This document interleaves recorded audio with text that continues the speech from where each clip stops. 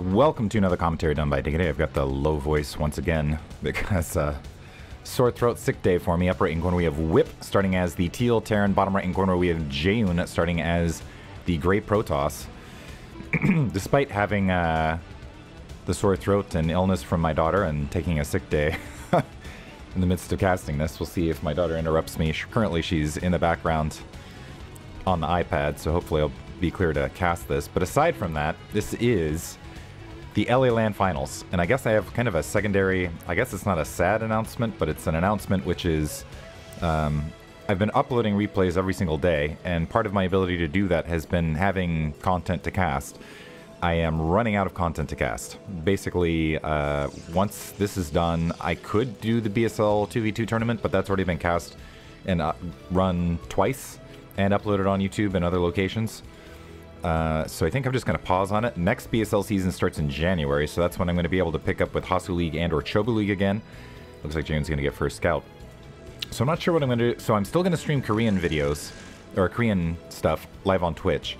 But I can't upload those to my channel uh, because of... I'm not, you know, trademark, whatever stuff. They upload them to StarCast TV. He's the one who's getting me the Korean replays to do, which is fine by me. Uh, so go there if you're missing my StarCraft casts, I guess, for the short term. For the short term? For the short term. Jane getting first scout, by the way, and I wonder if he's going to go for a gas steal. Getting some good harassment. Approaching it. Does manage to get the gas steal. That's really going to hurt Whip's early game chances. And he's also going gateway first here on the low ground. So first scout plus gateway first. We'll see how this plays out. But anyway, if you guys have games you want to see, I, I maybe I'll just do some playthroughs here in the background. I still want to have some stuff to upload to my channel, figuring it out in the meantime. I do have an idea for something, but it requires some programming, which requires some free time, which requires energy and all that other sort of stuff.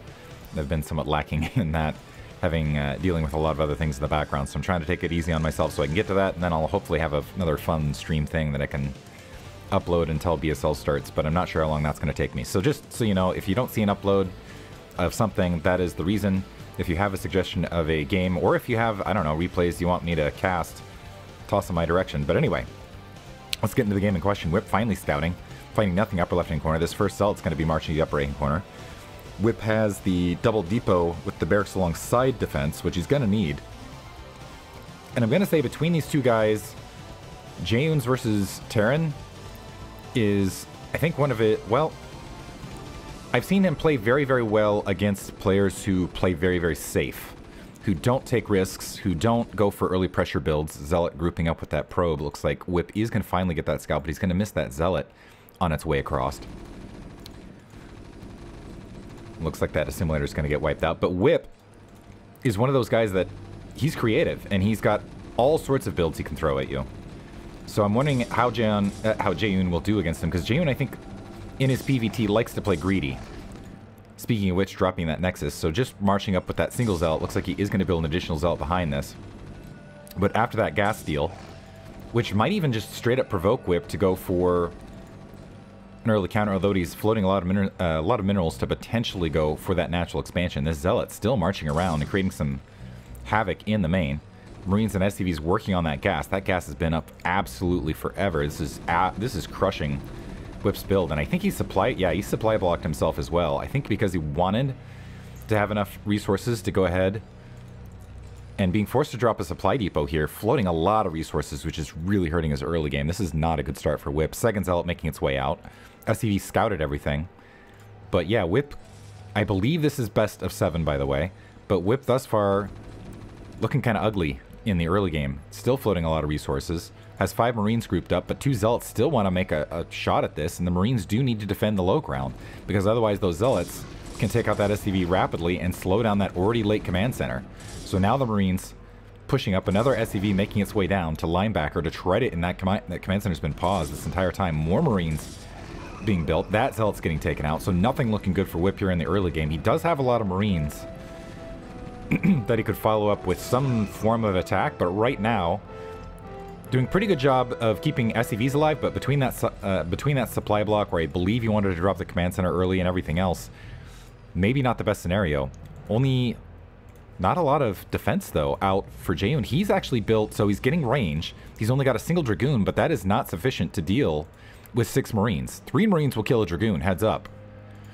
So SCV being blockaded on the ramp. First Dragoon out. That second Dragoon's going to have a lot of time before it is planted, so Jaeyun needs to buy himself some time right now as Whip is careening in with a huge amount of Marines, dropping that bunker right on the front.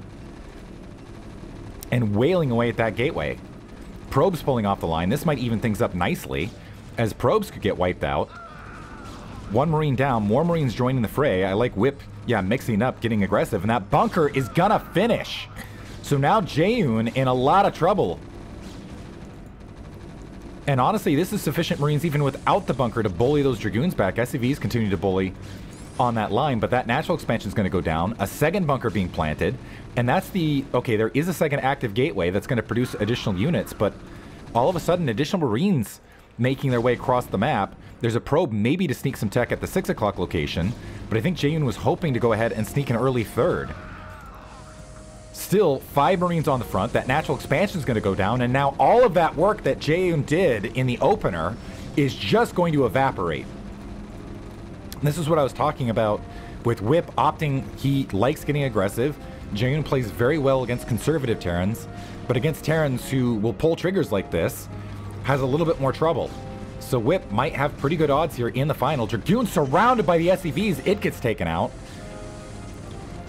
Range looks like it's finally finished, but there's just not sufficient troops to fight this off. Robotic Facility and Citadel of Adun dropping for Jaeyun is kind of emergency measures to get back into this. This Nexus has not been mining for quite a period of time, and we got double factory, mines upgrading, siege tanks, everything else.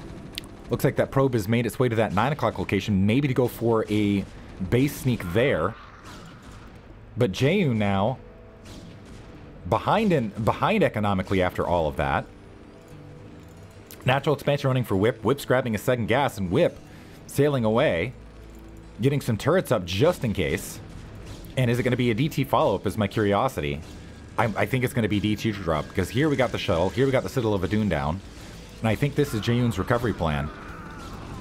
But I, I have to assume that Whip smells this, because the sheer light amount of Dragoons, the no attempts to regrab that natural expansion, I think he presumes. He has to presume here.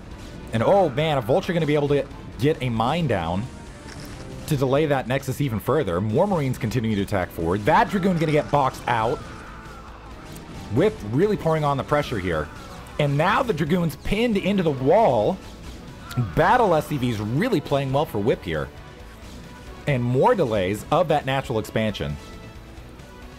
But, despite all that, Templar Archives comes online. The double gateway going to drop some, I assume, DTs. Whip has two siege tanks, some turret placement to cover that natural expansion. Some more vultures making their way across. If mines just get planted here at the mineral only, Whip will be, well, keep in mind that shuttle has to make its way across. The siege tanks will be there.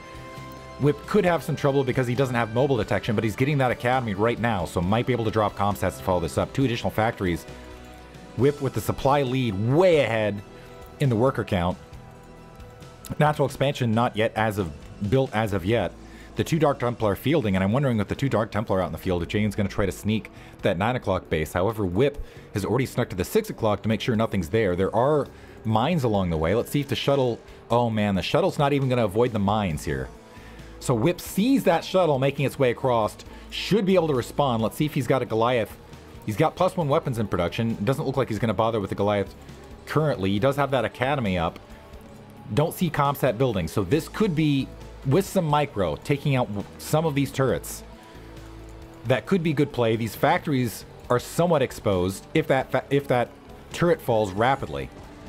So the shuttle making its way in, looking for some sort of area, mines planting underneath. There, the Dragoon drop in to clear some mines, and now the Dark Templars have been spotted. SCV's group preparing that turret, however. A siege tank and Vulture right there to squash that.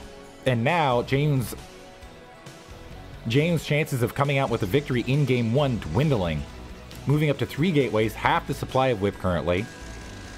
Trying to make his way to two base Stargate as far as a follow-up transferring all sorts of probes to the natural expansion, finally getting a second gas, but this is as Whip is already moving out to go for a secondary attack off what looks like five factories, so plopping down the fifth. He wants to end it here. Dragoon's dying to mines midfield. Brutal. So, yikes. So four dragoons. So how much do we have here to defend? We got four dragoons, two of which are heavily damaged, versus four siege tanks. Sorry, wow. Just kidding. Versus seven siege tanks, and Jaeyun's just going to GG immediately upon seeing that attack force. So game one goes to Whip in the final. Hope you guys enjoyed it. Thanks for listening.